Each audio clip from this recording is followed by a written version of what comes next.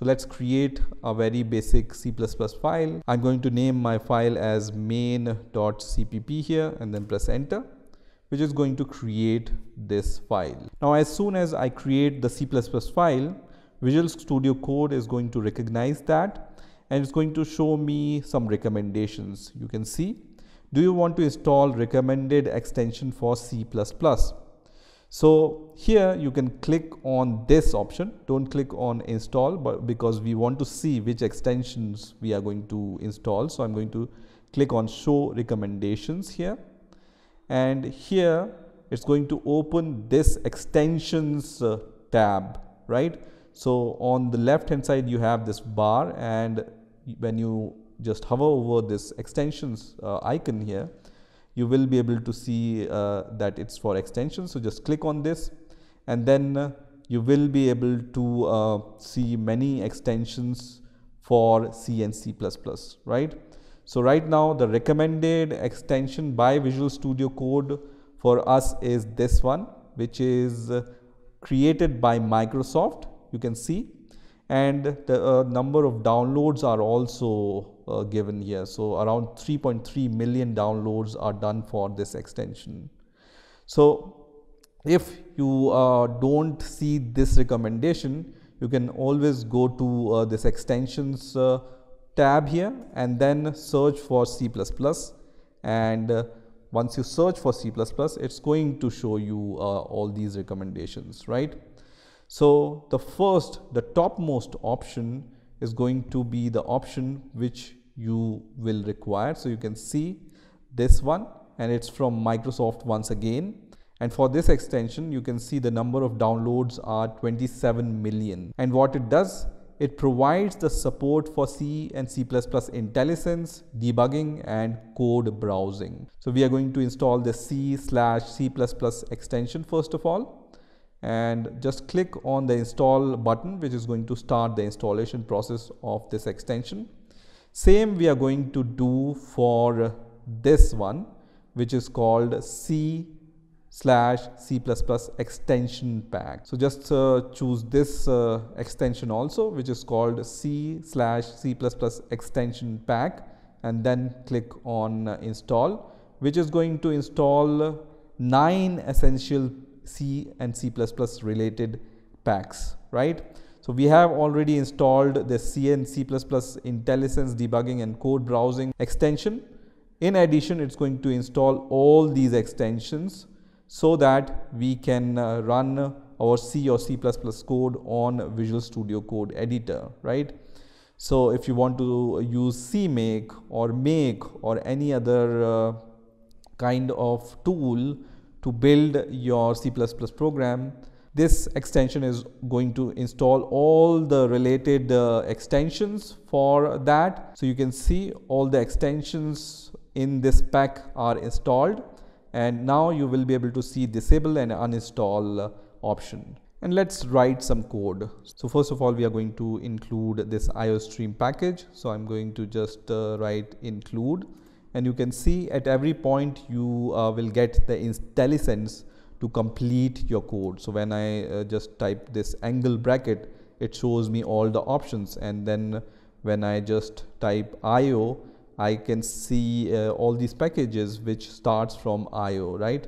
I need this IO stream, so I'm going to select this and it's going to just add the ending angle bracket also. Then I'm going to create the main method, which is simple int main and then these parentheses and then these curly brackets.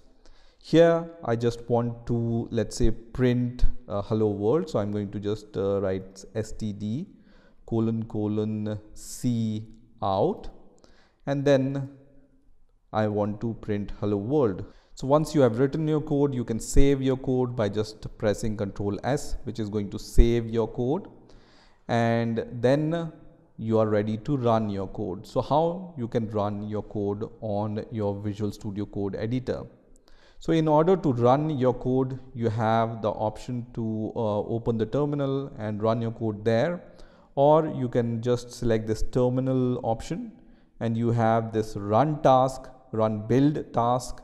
So I'm going to select this option which says run build task. You can also press Control Shift B for running this build task. So let me just click on this and as soon as I click on this option I will see all these options here. So for building my C++ program I will require g++.exe file right. If you need to compile the C program so if this file name was main.c file and you wanted to compile the C program you could have chosen gcc.exe right.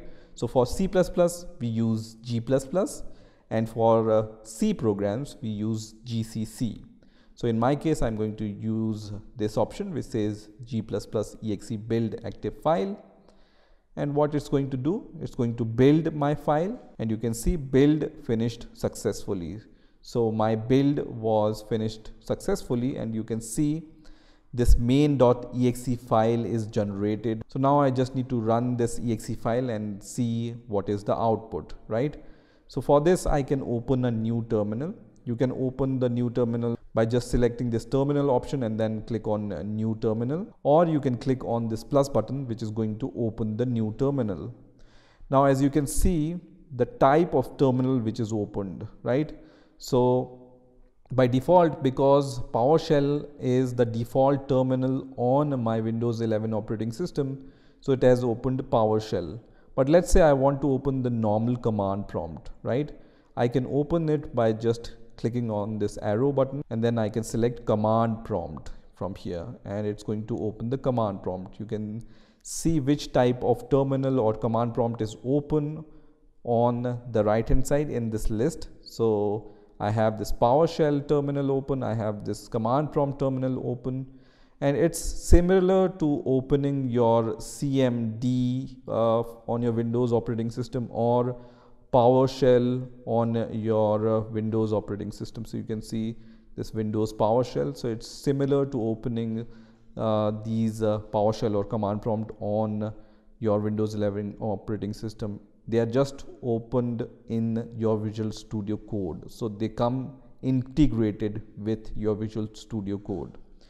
From here, I select CMD option. So I want to uh, run my exe file using command prompt. So I can just type the name of my uh, exe file which is main.exe and then press enter which is going to print the output here which is hello world in my case right. So that's how you can run your program using PowerShell. So if you want to use PowerShell so for the PowerShell you just need to write dot and then the backslash and the name of your exe which is main dot exe file and then press enter which is also going to show you the hello world result so you can run your exe file using command prompt also and from the PowerShell also. Now let me add some more code and I will show you how you can debug your C++ program on Visual Studio Code. So very simple, nothing complicated about this program. I just want to show how you can debug your C++ code. So in order to debug your C++ code, you uh, select this option which is called run and debug and here you can uh, see a few options. So you can uh, click on run and debug button here which is going to run your program in a debugger. You can also create a launch.json file to customize uh, your debugging options right. So for now what I'm going to do, I'm going to just add a few uh, breakpoints here and you will see the list of all the breakpoints in this list under breakpoints. So, so you will be able to see uh, the list of all the breakpoints. You can see it's in the main.cpp file and then they are at line 4, 5 and 6, right? You can disable all the breakpoints by just pressing this button which says toggle active breakpoints and it's going to disable all these breakpoints. It's not going to remove the breakpoints but these breakpoints will be disabled. You can also uh, remove all these breakpoints by just pressing this uh, option which says remove all breakpoints and it's going to remove all the breakpoints. So let me add these breakpoints once again and let's run this uh, debugger. So I'm going to click on run and debug button and once again Visual Studio Code is going to ask us which debugger we want to use, right? So depending upon the debugger available on your Windows 11 operating system, you can choose from those debuggers. Because we have installed the MinGW as a compiler on our Windows operating system, we are going to choose the first option which says C++ GDB LLDB. Okay, so I'm going to select this option and this is going to uh, give me once again these options right so now uh, as I said for C++ programs you choose the g++.exe file and for C programs you can choose gcc.exe files right? So I'm going to select uh, the g++.exe file for C++ and it's going to run my program in the debugger and you can see it's starting the debugger here and now my program is running in the debug mode. So how can I understand that my program is in debug mode? You will be able to see this specific color for debugging, right? So this bar color is changed uh, for the debugging and you will be able to see all these options for debugging. So from this option you can continue to uh, the next code and then using this you can step over in the code and then you can step into the code and then step out of the code and then you can rerun your uh, debugging once again and you can stop your debugging using this icon. Now because we have added this breakpoint our program execution is stopped at this line uh, 4 which is our first breakpoint and on the left hand side you will be able to see the list of all variables and the values uh, for these variables. So, so, right now the variable 1 have 0 value, variable 2 have uh, 16 and variable sum has 0 value. Because at this point these numbers are not assigned to our variables, C++ is going to assign the random numbers to these variables, right? That's why you see all these random numbers. Now when I uh, just click on step over and move to the next breakpoint, what happens here? You can see num1 is equal to 5 here, right? I can also watch for some specific variables. Let's say I want to watch the variable called sum, which is this variable. I can type the name of the variable and then press enter and then I can watch that variable specifically, right? So now the value of num1 is 5 because this line is executed but still this line is not executed so still num2 uh, has been assigned uh, any random number in our in my case it's 16 but it can be any number because we haven't assigned 10 here because we are on this line. When we go to the next line by clicking on step over, you can see the number 10 is assigned to num2 variable, right?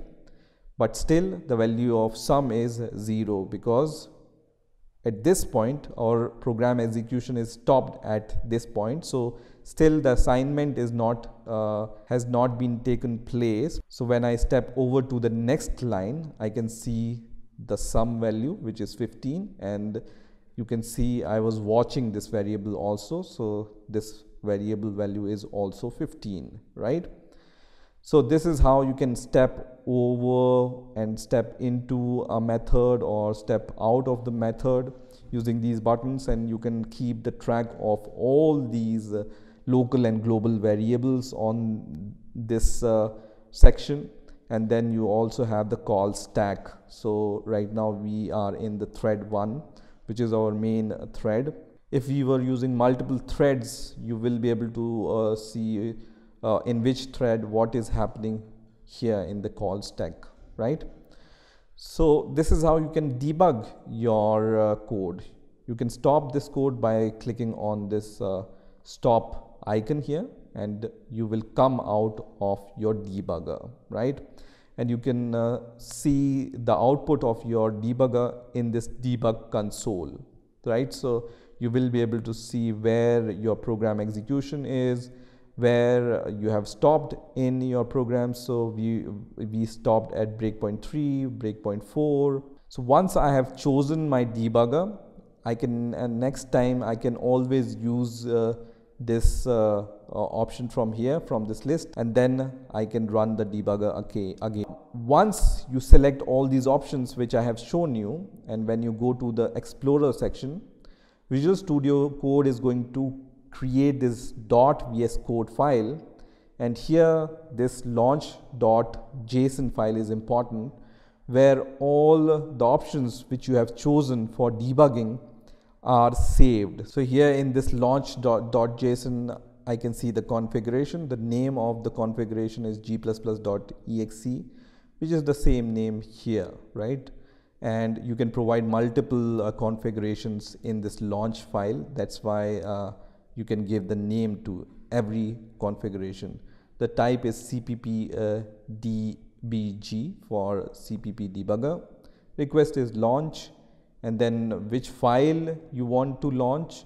Uh, this means we are in the current directory and the file name is uh, the same name as your uh, CPP file name .exe file and you can see which debugger you, you are using GDB and then you have the debugger path. So in our case uh, this debugger path is at this location. So all the information about your debugger is uh, there in your launch.json file. So you can always change this configuration if you want to use some other debugger right? let's say microsoft debugger you can change this path for the debugger from here and then use the other debugger right you also have this tasks.json file where you will be able to see uh, the commands. You can see uh, the command which is going to be used to run your program. C, uh, g++.exe file is there and then uh, you will be able to see uh, the options for compiling or building your C++ code here. So let's say I want to run my uh, debugger once again. So from the next time I can just click on this uh, green start debugging uh, button and it's going to start my uh, code in the debugging mode. So now once again you can see I am in the debugging mode. So this is how you can set up Visual Studio Code